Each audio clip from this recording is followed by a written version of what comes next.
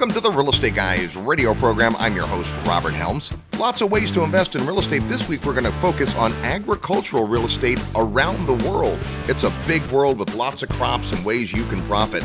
That's what we'll discuss today on the Real Estate Guys radio program. If you love real estate and have always wanted to own your own business, listen up.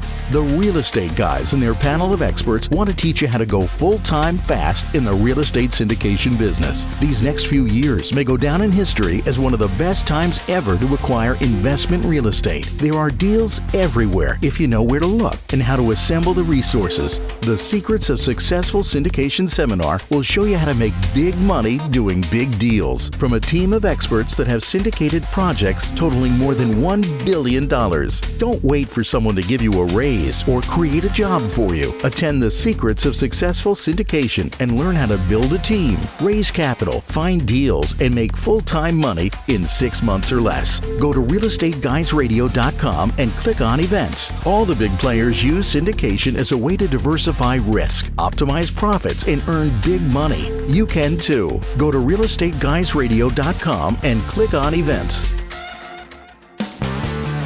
Welcome to the Real Estate Guys radio show. I'm your host, Robert Helms. With me, as usual, co host financial strategist Russell Gray. Hey, Robert. Still reeling from the 17th Annual Investors Summit at Sea. Oh my goodness, what an overwhelming amount of great information and hanging out with cool people. Oh, it's amazing. It's like speed dating for just meeting a lot of the right kind of people and getting into deep meaningful relationships, you can just learn a lot. And it's not just the your summiteers, what we call the summiteers, the people that come in from all over the world, successful entrepreneurs, successful investors, people that have built up a degree of money and wealth and are looking to go to the next level, people that are intensely curious and they study their niches. Uh, they just bring so much vibrancy to the event, and you get a chance to get in these conversations. And of course, we have an all star faculty, and they're talking about things going on in the world at the macro level, and then you've got what's going on at the micro level, and you kind of put those two together and say, how can I take these big trends, things that are going on in the world, and apply them into my portfolio, into my behavior, into my business to position myself either to capitalize on an opportunity or mitigate a potential loss? And you walk away from an event 10 days like that with just so many ideas, so many relationships. It can be a little overwhelming, but you certainly have a lot to work with in, in the coming year. And one of the things we talked about this year, and we have for the past several years, is agricultural real estate. You know, most real estate investors are used to buying a piece of property that has some sort of asset on it a house, a, a commercial building, a shopping mall, something that provides income. And farmers have figured out that you can harvest from the land dollars that don't have anything to do with tenants. They have to do with crops. And of course, one of the big challenges has been it's a difficult business to get into on a small scale. I remember you and I went to a farming uh, event actually in uh, Iowa years ago, and it was extraordinary listening to the vendors, the practitioners, the brokers in the world of farmland talk about the size of these farms, the the sections that people would buy. A section 640 acres. I mean, huge, big capital outlays. A lot of the listings were tens of millions of dollars to get you know fertile cropland, and most real estate investors are like, well, that counts me out.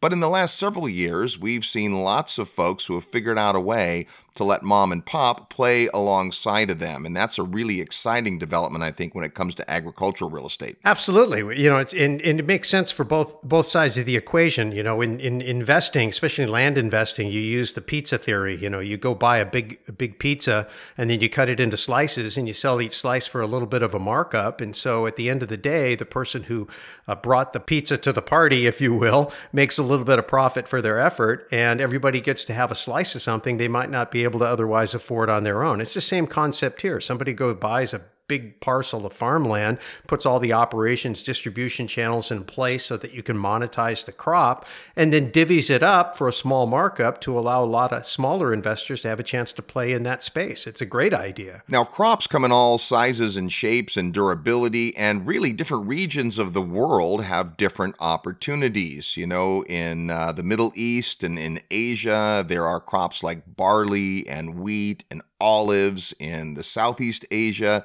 rice, soybeans, palm oil, sugarcane. If you look at Africa, they tend to grow yams and cassava and lentils and plantains. Central America, of course, is citrus and bananas and coffee and all kinds of different things. North America and folks who are listening in the United States, uh, we grow a lot of grain, a lot of corn, cotton, wheat, those kinds of things. And so well, California grows a lot of cannabis. Yeah, they do, and and grapes for wine. Agricultural. It's probably one of the hottest agricultural crops going right now. Oh, absolutely, it is, and that's the point. Different places are well suited for different types of crops. You know, for years, the great wine regions of France and California and places that, that have uh, grown wine, Australia and Argentina and Chile. So it's very geographic in that way. But we often talk about how in real estate, you have to get the market right if you buy an investment property in a market that is incorrect, that you didn't do your research and your due diligence and your analysis on, then you can get into trouble. But with crops, it's not exactly the same. Right. And this is one of two major reasons why we think agriculture makes a lot of sense. Uh, what you're talking about, Robert, is the idea that it doesn't really matter where the hungry mouths are. If you look at global population growth, it's all happening in the East. Uh, India has got a growing population, Indonesia, China. The, these populations need to be fed. It doesn't matter where the food is grown. Uh, and so the best farmland is what you want to buy, and then the best crops, and then the, it, the product can be shipped wherever it needs to go, especially with today's shipping technologies. So you've got that one side of it. The other side of it is just recognizing that it is a staple, it is fundamental, it's a, it meets a basic human human need, just like housing. Housing is a great niche to be in because people, whether they have a job or not, still need a place to live. Now, of course, they may be consuming savings or maybe government subsidies or whatever for you to be able to collect your rent. You can't have people just living there who are unemployed, which is to your point earlier about the importance of getting the market right. But the point is, is that it's among the last thing people are going to cut.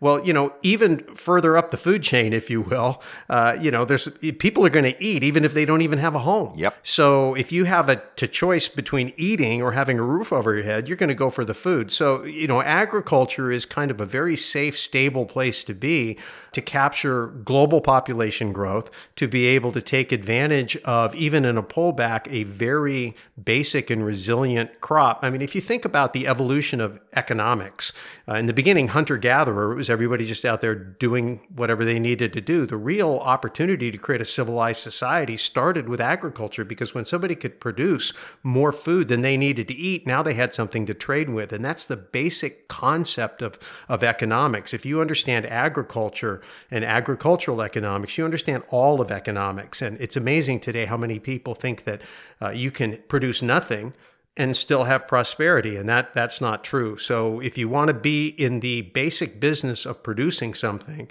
uh, that is going to produce a demand and, and a profit for you, agriculture is a great place to be. Our guest today has experience in real estate first and foremost and agriculture for the last several years in Latin America. We're going to talk today about the crops and the opportunities that he sees when we come back. You're tuned to the Real Estate Guys radio program. I'm your host, Robert Helms. Real estate investment advice right in your mailbox. Sign up for the free Real Estate Guys newsletter at realestateguysradio.com. Stop for a moment. Why are you listening to this show? Are you dreaming of a bigger, brighter financial future? More personal freedom to live life on your own terms? What if there was just one skill that could make it happen? There is sales. Robert Kiyosaki says every entrepreneur must be good at sales. It's true for investors too. Sales is how you attract money, people, and opportunities. Sales is the skill used to negotiate deals and lead your team. Sales skills are essential to success. The good news is, it's a learnable skill. The great news is, we've created a two day interactive workshop to teach those skills to you. Make plans today to attend How to Win Funds and Influence People Mastering the Art of Financial Selling. For dates and details, send an email to sales at realestateguysradio.com or visit realestateguysradio.com and look under events. Gain the skills you need to succeed. Email sales at realestateguysradio.com or look under the events tab at realestateguysradio.com. Hi, this is Garrett Sutton, Robert Kiyosaki's asset protection attorney and the author of Loopholes of Real Estate and Start Your Own Corporation. As an American or foreign based investor in U.S. real estate, you know we are a litigious society. You know that you need to protect your real estate, paper, and bullion holdings with the right mix of LLCs and corporations. Our firm, Corporate Direct, not only forms these entities, but importantly, we properly maintain them too. If you fail to follow the corporate formalities, you can lose it all in an instant. Corporate Direct is your source for LLC protection and maintenance in all 50 states. Visit corporatedirect.com or call 800 600 1760. Mention the real estate guys for a free bonus. That's 800 600 1760 or corporatedirect.com. We look forward to assisting you at corporatedirect.com. Hi, this is Tom Wheelwright, best-selling author of Tax Free Wealth and you're listening to Real Estate Guys Radio. Welcome back to the Real Estate Guys Radio program. I'm your host, Robert Helms. We're talking today about opportunities in agricultural real estate around the world. It is a big old world and everyone's got to eat. Please welcome to the program David Smith. How are you, David? I'm fine, Robert. How are you? It's good to see you. You've been uh, with us on the Summit at Sea for a couple of years. Yeah, this is the second time around for us, and we're very excited. We're yeah. very, very happy to be invited, and we appreciate that. Well, it's great to uh, get to know you guys a little better. And of course, today we're talking right up your wheelhouse, uh, agriculture investing. And you actually, for many years, have lived in Latin America. Tell us about that. Well, you know, it's been uh, quite a journey. I've uh, I've learned a lot. I've been involved in many aspects of real estate in Latin America. I began my career just sort of by chance. I lived in Nicaragua, and I happened to be one of the few Americans who could speak Spanish. Yeah. And so, uh, as Nicaragua became more popular in the early 2000s with tourism and things like that, you know, eventually I had, uh, you know, North Americans walking up to me and saying, hey, you know, you live here can you help me find a property? Right. Okay. So this just sort of snowballed. And then a couple years later, I had a REMAX franchise in Granada. Yeah. And that was residential real estate. We also did some uh, beachfront developments. Uh, eventually, we ended up with two uh, REMAX franchises. Okay. We had, we had one in the colonial town of Granada, and we had another one in San Juan del Sur on the beach. Okay, so uh, kind of fell into real estate that way. That's correct. And uh, and now another aspect of real estate, which I think is fascinating to a lot of real estate investors, because if you think about what we do, we buy a piece of property, it's got some improvements on it that generate cash flow, which is exactly what agriculture does. Now, last time we had Carson on the program, uh, it was last year, talking about one of the many crops, which is oranges in Paraguay. Why oranges and why Paraguay? well, it's uh, very similar to how I got in real estate in general. Yeah. As I be, as I moved from Nicaragua to Panama in 09, I had a friend in Colombia that kept telling me, "David, you need to diversify. You need to, you know, pull some of your holdings out of residential and move into agriculture." Yeah. So after some due diligence on various projects in Panama and, and also in Colombia, I decided to, to invest in agriculture myself. Yep. And I was so in, interested in the business model. I thought, wow, this is this is great. You know, it's a it's a passive, turnkey investment, uh, not subject to the whims of the markets and things like that. So I, I really liked the security of it. Uh, a couple of years ago, I was introduced to Karsten Pfau by way of a friend, a German friend that lives in Panama. Okay. Who was one of the original investors with Karsten. And he said, You know, David, I think you might be interested in meeting Karsten because he has a really interesting program. Uh, however, his clientele are primarily Europeans, Germans, Austrians, Swiss. And my friend said, I think that this would be a very interesting uh, uh, business for the North American market. You could probably do some good business up there. So he introduced me to Karsten. And uh, I went down to Paraguay knowing very little about the country. Uh, it was quite impressive in, in a, in, a, quiet way. You know, a bit off the radar, big farming country, big cattle country. And so Carson and I have been working together for a couple of years. And uh, our core business is oranges, as Carson spoke to you about uh, last year. But just recently, uh, we've opened up uh, a new segment of citrus, and we're doing on a limited basis. We're doing lemons, limes, and sweet limes. And so this is something that we're offering uh, on, on a limited basis. Um, we don't have a lot of hectares allocated, but we're going to do probably two to 300 hectares of this.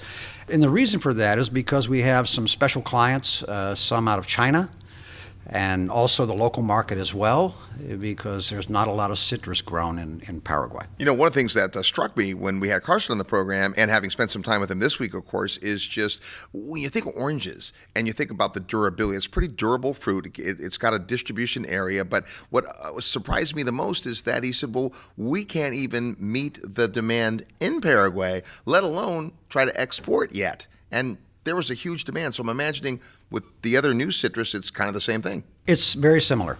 Actually, Paraguay imports about 85% of all the citrus products consumed in the country. Wow. Uh, this also holds true for vegetables.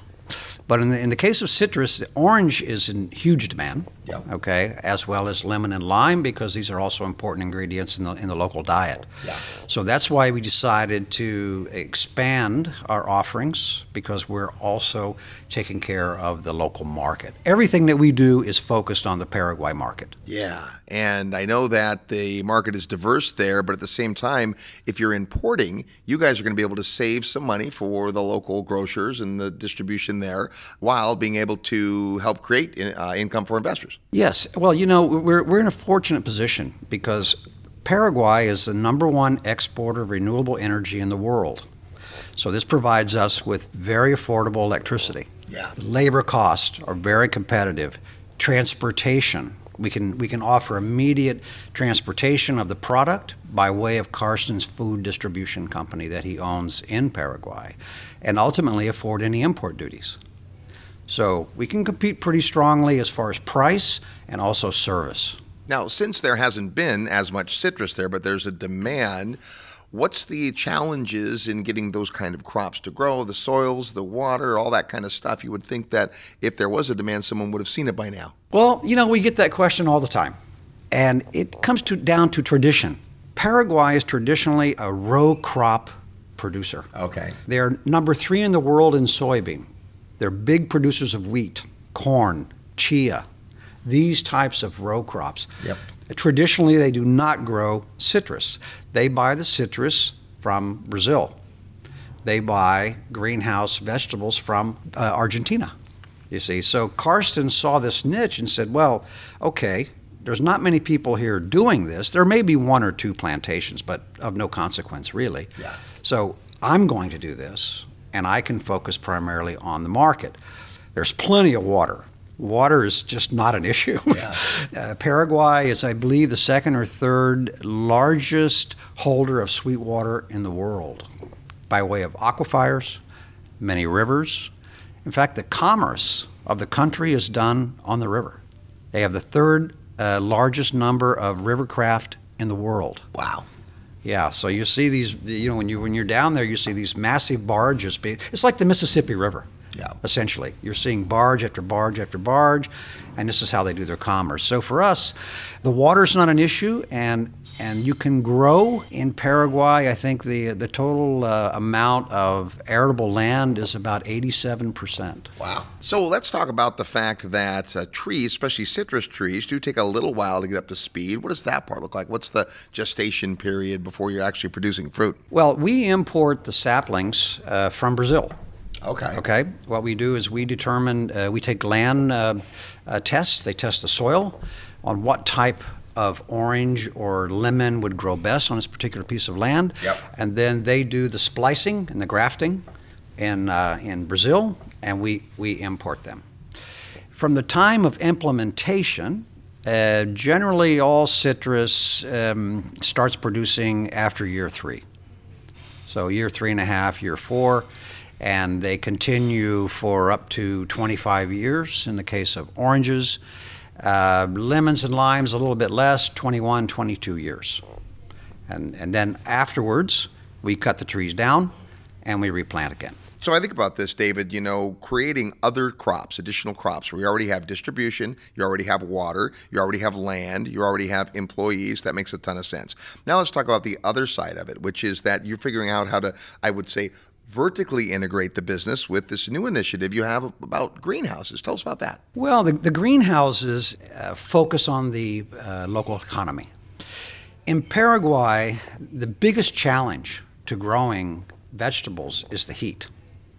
Paraguay gets very hot. Yeah. And when I say very hot, I'm talking Tucson hot. Wow. And above. Can be 120, 130, 140 degrees in, in many locations.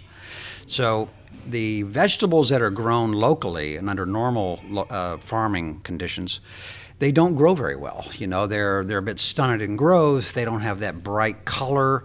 They're not succulent, and consequently, they have don't have a good taste. Yeah. So they sell at a, at a quite a low price on on the local market.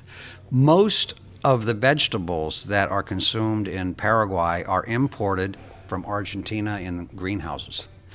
So I'm talking cucumbers, red peppers, yellow peppers, tomatoes. Those are the ones that have the best taste, the best look, and the highest price. Yeah. So that's what we're focusing on now, and we're going to be growing in our greenhouses those four items. So there'll be cucumbers, red peppers, yellow peppers, and tomatoes.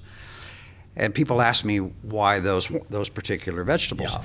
Well, in that part of the world, almost every meal, even including breakfast in some cases, they always use peppers, onions, and tomatoes. Okay. Okay, so that's the reason why we do that. And um, what's going on right now is we're about to receive our first order of 10 greenhouses, uh, probably the end of this month or early next month.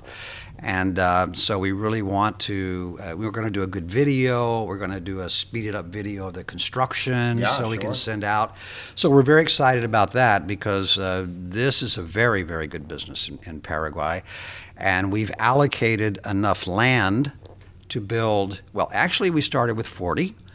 Now, with some advanced contracts that we have from some of the supermarkets and some of the other buyers in the country, we've uh, added another 10. So there will be a total of 50 greenhouses available. Uh, right now, I think we've got 16 or 18 sold, so we've got to do another order very soon. But we're very excited about this because uh, many people, uh, many followers of yours uh, that we've had communications with have said, "Hey, when's the greenhouses going to be ready?" And they keep asking, keep asking. Uh, and however, you know, in Latin America, you have a little bit of the manana factor. Sure. So things come in a little bit late. So finally, we're we're very very pleased that they're coming in, and as soon as we can get this under construction, we're going to inform everyone of that. Now, how big is a greenhouse? A greenhouse is approximately 26,000 square feet. Okay. Or a half a hectare, if you, I'm sorry, a quarter of a hectare. The land that the greenhouse sits on is a half a hectare. So that's 5,000 uh, square meters or 2.4 acres. Right. The greenhouse is half that size Okay. because you need to have access room for trucks and maintenance and all these sort of things. So that's that's the way the greenhouse uh, structure is laid out. So, and the model is that an individual investor can invest in a single greenhouse? That's correct.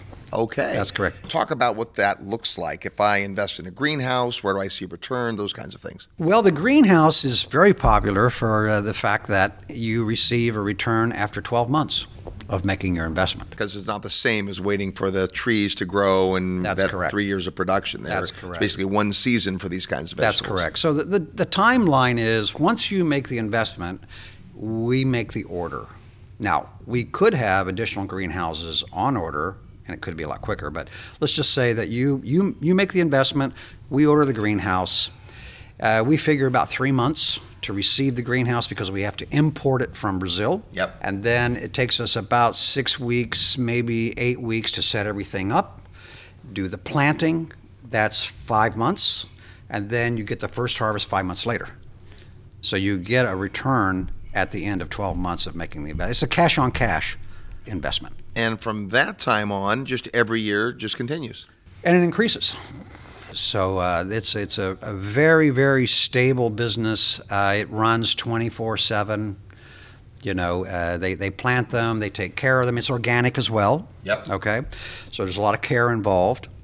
And, uh, you know, we take a small management fee for that and we sell the vegetables, and we believe we can offer some very good returns. Well, we'll talk about that when we come back. We're talking with David Smith about uh, agricultural opportunities in Latin America. More when we come back. We'll play real estate trivia next. You're tuned to the Real Estate Guys radio program. I'm your host, Robert Helms. Live nationwide. You're listening to the Real Estate Guys. Find out more at realestateguysradio.com. Memphis is famous for being the home of the king of rock and roll but it's also the king of cash flow. If you're looking for affordable cash flow properties, it's hard to beat Memphis. Get your portfolio rocking and more cash flowing your way by calling Terry Kerr at Mid South Home Buyers. Terry's the king of turnkey properties. Contact Terry through the resource section at realestateguysradio.com. And be sure to order Terry's tips for turnkey rental property investing report. It's free. Just send your request to turnkey at realestateguysradio.com. If you want to learn how you could potentially increase your net worth by over a million dollars and quit your job in just a few short years, listen closely for the next 60 seconds. This is Brad Sumrock, and over the past 16 years, I've helped thousands of people invest profitably in real estate, but not just any type of real estate. I specialize in helping people syndicate large apartment buildings so that they can be business owners and investors. In today's competitive environment, it's even more important than ever to leverage an experienced mentor, invest in your education, and have a team of advisors that has established relationships nationwide.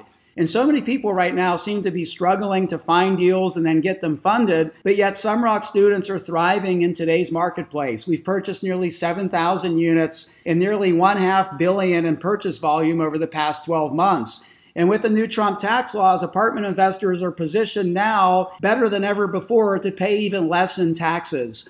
To find out more, send an email to apartmentsnow at realestateguysradio.com and you'll get my recent presentation called Why Apartments Now. That's apartmentsnow at realestateguysradio.com. Hello, this is Dave Liniger, co founder of REMAX International.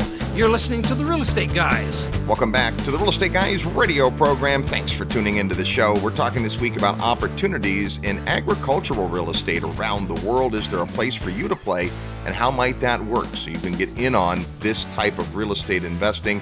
And the long term yields associated with it. Before we get back to an interview with David Smith, it's time to play real estate trivia. That's your chance to win a prize by knowing today's real estate trivia question. As soon as you hear the question and think you know the answer, send your best guess to trivia at realestateguysradio.com. Trivia at realestateguysradio.com. You want to include your name, your mailing address, and the answer to the question. The first person that gets it right is going to get a copy of The One Thing That Changed Everything, an awesome compilation book published by our friend Kyle Wilson with cool stories in it from great folks. That can be yours if you know today's real estate trivia question, which of course has something to do with what we're talking about today. Before I give you this week's question, last week on the Real Estate Guys, it was our show from the summit at sea, and we asked this What is the average depth of the ocean? That's a deep question. And it's a deep answer. The uh, answer, of course, when we say the ocean, that includes all the Pacific, Atlantic, Indian, Southern, and Arctic oceans. The average depth, 14,000 feet, or 4,267 meters. Basically, more than two and a half miles on average. Here's our real estate trivia question for this week Paraguay is a landlocked country bordered by three other countries. Which ones? Which three countries border Paraguay? If you know or just want to look it up quickly, get your best guess to trivia at realestateguysradio.com. Trivia at realestateguysradio.com. Include your name, the answer to the question, and your mailing address so that if you're the winner, we can send you the one thing that changed everything. That's today's real estate trivia question. We're talking today with David Smith about agriculture and the opportunity for the individual to get involved. You know, one of the challenges, David, for people that see the need for calories and uh, can recognize there's opportunity in markets like Paraguay that can't supply enough of their own particular vegetables and fruits is that it's like, well, farming, that's a big undertaking. It's lots of land, lots of equipment, lots of, you know, specialized training. And what you guys are doing is giving folks who are individuals and smaller investors a chance to participate right along, which is cool and we were talking before the break about this new greenhouse concept to get the vegetables to market sooner. Uh, what are we talking in terms of cost? What does it cost to buy a greenhouse? What kind of range of returns? Uh, what's the, the plan for someone who says, this sounds good to me? Okay. The cost of the greenhouse, including the land, is $320,000 U.S. US. Okay. And that's a pretty big building and a pretty big piece of land, and you enter into a contract for you guys to take over the management of that. That's correct. The the investor actually owns the land and they own the greenhouse. Yeah. Okay, so this is registered and titled in Paraguay in your name or whatever entity that, that you decide to use. Yep. Uh, it's very important to remember that the contract for the greenhouse is 10 years.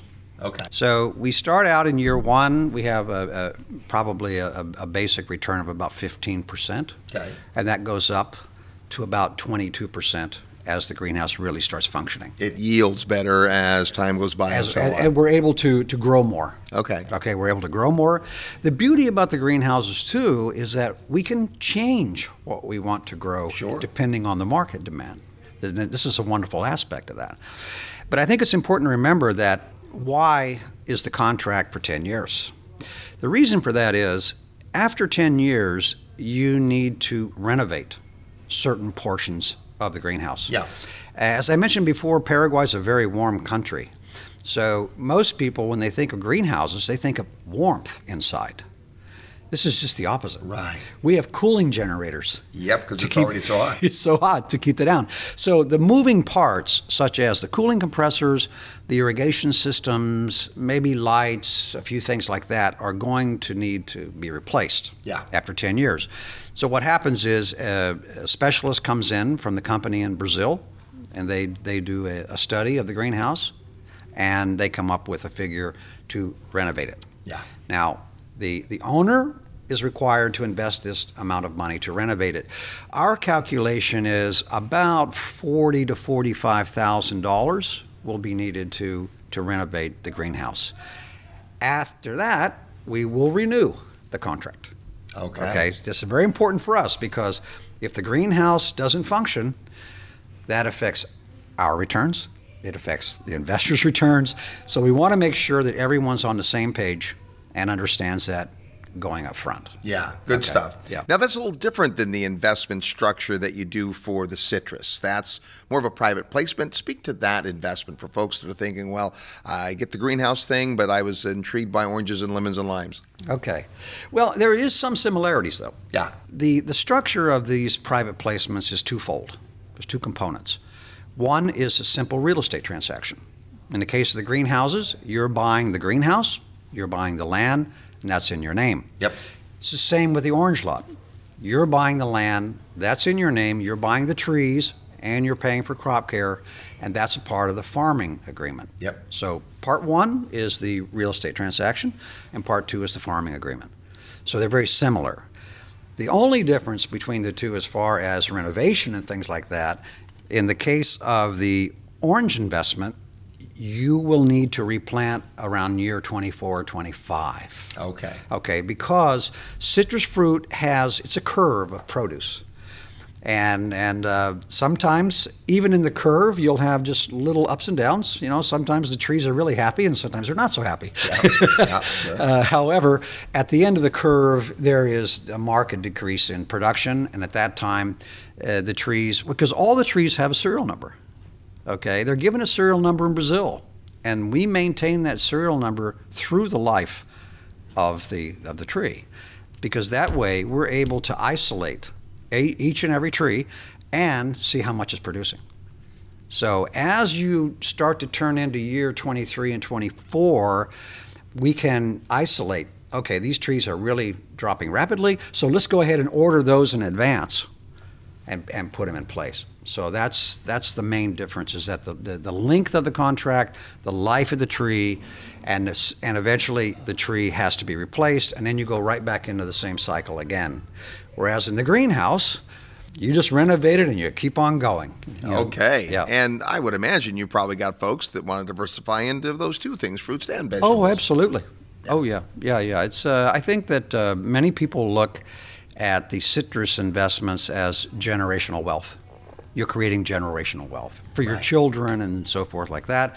On the greenhouses, it's an immediate return. You know, you think about what most investors do, and they're going to buy, say, a house or apartment building, and over time, it's going to wear out. It's going to deteriorate. You're going to have to do some work. Now, it's not going to be at the end of 10 years, we're going to just renovate everything. It's going to be as the tenants move out, and we need this repaired or that repaired. We're going to make a capex, capital expenditure improvement to make it more valuable, to do something to increase the rents. It's really the same thing. And through the process of getting the trees up and running, making sure they're there, and then uh, when they've exhausted their best use to replace them, that's maybe a bump in the road in terms of the income, but then it's right back into the cycle again. So That's correct. You know, yeah, it creates cash flow fairly soon in a, in a lifetime of somebody, but this idea that uh, those trees will just keep going as long as you keep planting them uh, on uh, generations uh, down the line, that's pretty exciting. Yeah, and if you take care of them, it, it requires the proper crop care. Well, this is exactly why these types of investments, and we're big fans of, of this thinking, uh, to divide the ownership in a smaller piece, but the management oversees a lot. So these aren't 50 greenhouses with individual managers and owners and farmers. You guys are managing the whole thing, which gives you some economies of scale I couldn't get on my own. Yes, that's why we have expert staff. We have uh, a Brazilian gentleman that works for us that's, that is, does nothing but greenhouses and vegetables. He knows how to grow every kind of vegetable possible that, you, that can be grown in a greenhouse. And then we have another gentleman from Paraguay that has done nothing but citrus all over South America. So we make sure that we have top of the line staff because, eh, you know, there's risk involved in citrus fruit. I mean, this is well known in Florida for in many many other countries as well. So it's important that you really pay attention to what's going on on the plantation. Sometimes, not often, but sometimes. Uh, uh, you know, diseases will start in these kinds of trees, and when they're not really taken care of immediately, I mean, you can eradicate, you can avoid a lot of this, but you have to be on top of it. Yeah. And that's what we specialize in, is having the right people, the right amount of care, because all of our employees are involved in profit sharing. All right, so this is interesting that you've got folks that are working for you and they see the bigger picture. One of the things that has plagued Latin America, not just in agriculture, but in a lot of businesses, lower wages, hard to keep up with cost of living. Talk about how these folks are being able to see the bigger picture because they get to profit share. Well, what we decided to do was um, to really focus on on taking care of the trees and taking care of the greenhouses. Is that we are offering them bonuses based upon produce amount. Okay. It's not on, on, a, on a net profit or anything like that. We want them to reach produce production quotas. Yeah. And we feel that that's where they're going to really put that loving touch on those trees, making sure that everything's done properly and giving it that extra effort. Because if the tree's not producing, well, you know, it kind of lowers the, uh, the bonus a little bit. And uh, we feel that uh, we've been very successful uh, in hiring from the local community. Okay, we, uh, the first plantation is located in La Colmena. This is about two hour drive outside of Asuncion Okay. on, a, on a main road. Uh, this was a village that was um, founded by some Japanese farmers who came over to uh, Paraguay after the Second World War. Wow. So a lot of the streets are, have Japanese names, and there's Japanese people living there. And as you know, they're great farmers. Yeah. Okay, so we've we've managed to incorporate them in, into the plantation because they have a lot of expertise. They know the countryside really, really well. They know all the water sources. They just they just know a lot. So uh, we feel that it's it's very important to uh, you know have a social responsibility and uh, and we've done other things too. We're trying to build a school right now. Wow. In, one of the villages, uh, it's, we need permission to do that, but you know we, we feel that we'll have that uh, sometime this year. We're gonna we're gonna do a small uh, primary school uh, a little bit further out of town where the children, you know, normally they have to commute or walk to school. Okay. And, uh, you know, sometimes in bad weather, they don't go, things like that. So what we're trying to do is put the school out where they are. And so that's, that's been a very important uh, program for us. So, what are the kinds of questions that people have? You deal with investors all the time that are maybe traditional real estate investors and they haven't delved into agriculture, but you've got their attention. What are some of the top questions people generally have, or maybe things they're surprised by? Well, they're surprised by Paraguay, I can tell you. You know, um, when I mention, oh, you should you should take a look at our program in Paraguay. Well, you know, their first response is, hmm, Paraguay. Yeah. I've heard of that, but you don't hear much about it. Right. And so my response is, that's great. That's the best place to invest, Yeah. a quiet place. Yeah. And and you know Paraguay, I'm sure uh, Karsten's mentioned this to you as well. You know, it's a it's a very um, agricultural country. Right. I mean, it's a powerhouse, big beef exporter. I think sixth in the world in beef alone. And as I mentioned before, uh, row crops and things like that. Yep. Uh, once once you mention these things to people, um, they become curious. You know, number one exporter of uh, uh, renewable energy. I had, I had no idea about these things, you know. So uh, people are intrigued by that. Most Americans have not invested overseas. Very small percentage. I- Sure. I, I read one time about four or five percent of Americans invest overseas. Okay. I mean, so maybe 20 million. Yeah. 25 million, something like that. So you have to really explain uh, not only the history of the country, the history of the company. Uh, I think what helps us is the fact that Karsten's been in, involved in Paraguay for 25 years. His father was involved before him. Right. That gives us a lot of credibility, and uh, and then ultimately. Uh, uh, this this sets us aside uh, apart from other agricultural investments that I know of, is the fact that our contracts are written and subject to German law. Well, with, with his German background, it's interesting. You talk about the Japanese farmers and kind of the multicultural effect here. And, you know, one of the things that uh, I think gives Karsten a lot of credibility in our crowd is that he's a real estate guy, real estate background, Yeah. Germany developer. I mean, he's got to come from a real estate family. And, and early on, his dad saw this opportunity to kind of diversify. And you don't put those two things together, but you don't think there's probably a ton of German farmers in Paraguay. But then you find out, well, the Japanese are here and there's folks that are doing all kinds of, you know, Men- Mennonites. Mennonites, yeah. Yeah, many Mennonites. Mennonites are great farmers, so uh, it sounds exciting. Now, I know I always encourage people to go out and test drive an investment to see it for themselves. And one of the things you guys do is make these trips available. Talk about how uh, that works if someone says, you know, this sounds interesting, but I want to see it. Well, we've we've done quite a few tours actually. Um, we've done. Uh, let's see, I've done one in November. I had one in February. In fact, the one in February was quite international. I had from the United States some Filipinos, Chinese. I had a couple of guys from Nova Scotia. Wow. And I had some Japanese investors. All came down there. Logistically, it's uh, it's a challenge sometimes. I'd say uh, it's a long way, you know, to get there.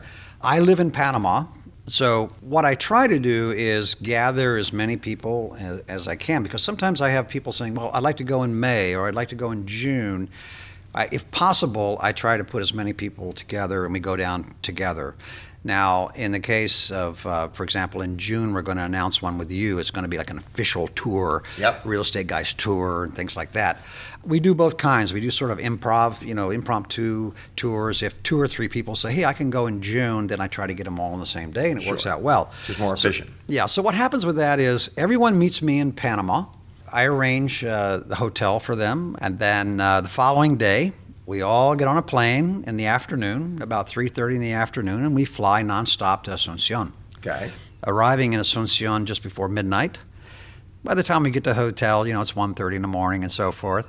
Uh, the following day, uh, we take it easy, let everybody sort of relax, you know, from the travel and stuff like that, and then we usually arrange uh, a, an interesting tour of Asuncion. Sometimes we do a river tour, which many people have found interesting because Yeah. you can actually see how the commerce is done, you can see how the, coun- the country functions, and then the following day we spend all day on the tour. So we see both plantations, and uh, we also introduce them to our staff.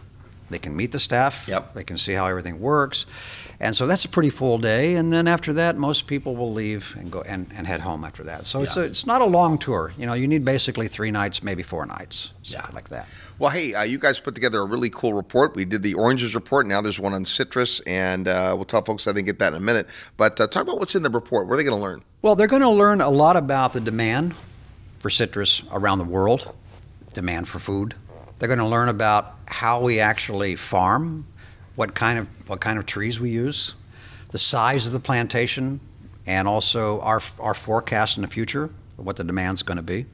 So it's it's a quite uh, comprehensive report. I mean, we, we try to provide as much historical information and worldwide information about food consumption as possible. Yeah. And they learn a little bit about Paraguay. They learn about Karsten. They learn about who we are. Yeah. Okay. So that's that's really important. Well, if this sounds interesting and you want to learn more about it, uh, we'll tell you how you can do that when we come back. Dave, this has been great stuff, and uh, awesome we get caught up and hear about the uh, citrus uh, expansion plus the greenhouses. Again, if you want more information on that, and then I'll also get you David's contact information, we'll tell you what to do when we come back. Thanks for being on the program, Dave. It's great having you. Thank you very much, Robert. You're tuned to the Real Estate Guys radio program. I'm your host, Robert Helms. Need help with your real estate investment portfolio? Check out the resources page at realestateguysradio.com. Hey, it's Robert Helms. Thanks so much for listening to the show today. I want to personally invite you to come see an amazing real estate market that combines excellent cash flow, offshore diversification, and what we affectionately call lifestyle investing. Come join me from July 5th to 8th in the beautiful country of Belize. The Real Estate Guys have been bringing investors to Belize for more than 13 years now, and our discovery trip is designed to show you the market like nobody else can. Sure, Belize is breathtakingly beautiful, the people are wonderful, and wait till you taste the food. But the real opportunity is the real estate investment potential. 2018 was the biggest year in tourism Belize has ever witnessed, and this year is starting off strong. How does that translate to real estate investment? That's what you have to come see. There's all types of opportunity in Belize when it comes to real estate, including both long term and short term rentals, commercial and retail triple net properties, business opportunities, land acquisition, development, agriculture, and more. And as the only country in Latin America with English as its official language, it's easy to understand the law. Property rights are strong, and contracts are in English. And at Ambergris Caye, a unique situation exists where demand for rentals continues to outstrip supply creating a compelling environment for investors. So come see for yourself. Join me July 5th through 8th in Ambergris Caye, Belize, as we study the market, learn about the sustainable drivers, and tour lots of beautiful real estate. And like all of our field trips, there are no properties for sale during the weekend. Rather, you'll meet lots of local providers that will help educate you about the market so you can follow up with them after the trip if the market's interesting to you. But that ball's in your court. You'll receive their contact details, but they won't receive yours unless you give it to them. You've heard about Belize and the real estate guys for all these years. Now come see what all the excitement is about. Plus, we'll have lots of time over meals and activities to talk about all things real estate. To get the details, go to the website at realestateguysradio.com and click on events, where you'll find the Belize Discovery Trips. Once you register, you'll get information about our group hotel rates as well as travel details. So join me in Belize July 5th through 8th. It's a beautiful country with lots of amazing possibilities, and the only thing missing is you. Go to realestateguysradio.com under events. I look forward to seeing you in beautiful Belize. Hi, this is Doug Casey, and you're listening to The Real Estate Guys. Welcome back to the Real Estate Guys radio program. Thanks for tuning in. You know, nothing happens without somebody selling something. And if you're in the real estate business, then you need to understand influence and sales. And no better place to do that than how to win funds and influence people. It's our two day workshop on sales, really person to person across the table selling great for folks that are raising money, great for folks that have a product or service and want to get it out to the world. And that happens once a year. It's coming up in June, taught by the one and only Russell Gray. So, looking forward to having lots of folks out at how to win funds and influence people. You can get the details on our website at realestateguysradio.com. Today we're talking about agricultural opportunities, and uh, awesome to hear from David Smith. Yeah, you know, we talked at the beginning of the show about how on the Summit at Sea you get a chance to meet so many interesting people. And it isn't just the summit, it's conferences. It's why we go to the New Orleans conference every year. Brien Lundin does a great job putting together a room full of really interesting people. And one of the favorite things I love to do is walk around these exhibit halls and find out what people are up to, what they're doing. And, you know, we've become kind of enamored not just of agriculture agriculture, but of offshore real estate, because a lot of these properties don't have any leverage in them. So there's not a lot of air. If you think about what goes on in marketplaces and in product niches where there's a lot of financing, it's great because you can get those big equity pops, but that pendulum swings both ways. For the purpose of putting some stability into your portfolio, some privacy into your portfolio, uh, some international diversification, uh, potentially even earning income in other currencies. There's a lot of reasons to take a look at international, and then you can marry the two together with international and agriculture. Uh, one of the challenges that a lot of domestic, when you think about it from a, a United States or an American point of view, the farming industry in the United States is a little bit more challenging. Regulations, environmental environmental issues. Uh, and that isn't to say that things grown in other places are bad. You know, I, I pay a lot of attention to what I eat. And, you know, Robert, you've commented on this many times down in Belize the idea of organic. People don't even use the word organic because generally organic is how they do it. So there's a lot of reasons why international uh, agriculture can make a lot of sense. And so the key is you got to have boots on the ground. You got to have people who know the business. Uh, it's not something you just go jump on a plane and go buy a piece of farmland and go, okay, I'm in the business. I mean, there's many, many other pieces of the puzzle. So you've got to do your homework. But it starts with forming a relationship with somebody uh, who's been there, done that. And that's one of the things that's great about David because he's a guy that's been in the space for a long time, uh, sees it, understands it, and uh, is happy to share his wisdom with people. So it was great to have him on the program. In fact, uh, David's put together a really cool report on many of the things he talked about today and some of the reasons they've chosen the crops they have. If you want a copy of that, all you have to do is send an email to citrus Citrus, C I T R U S, at realestateguysradio.com, and you'll get that report and also David's contact details. They do trips to Paraguay, so you can kind of kick the dirt and check out the crops and see what they're doing down there. And so, for many folks, they're going to want to go see it before they buy, and uh, other folks are just like, you know, put me into the deal. But whether or not this particular opportunity is right for you, I think expanding your thinking to a bigger picture of real estate than just little houses or hotels is important important. I mean, this is one of the ways that real estate has yielded for years. In certain places, there's great tax advantages to it. It can be great legacy income. Many of the crops grow year after year after year, and the costs go down over time, not up. So there's a lot of things to consider. And to your point, Russ, I think coming alongside someone who knows what they're doing is critical in any real estate endeavor, but for sure when it comes to agriculture. So big thanks to David Smith for not only joining us on the summit, for sharing his time uh, today. Uh, coming up soon, it's Ask the Guys. That's your questions and our answers. If you've got a question for the Real Estate Guys, go to the website at realestateguysradio.com and just click the button that says Ask the Guys. We'll take a bunch of those questions and answer them soon on the Real Estate Guys radio program. Until next week, go out and make some equity happen. This episode of the Real Estate Guys radio show is brought to you by Paradigm Life. Powerful cash management strategies using life insurance. Learn more at beyourbank.com. Mid South Home Buyers, low cost, turnkey cash flow properties in Memphis, Tennessee. Corporate Direct, asset protection strategies for real estate investors from attorney and rich dad advisor Garrett Sutton. Find these and other great companies under the Resources tab at realestateguysradio.com. To learn how you can expose your product or service to the Real Estate Guys audience, call 888 489 7723 Extension 4. That's 888 489 7723 Extension 4. Or use the feedback page at realestateguysradio.com. Thanks for listening, and we'll see you next week right here on the Real Estate Guys Radio Show.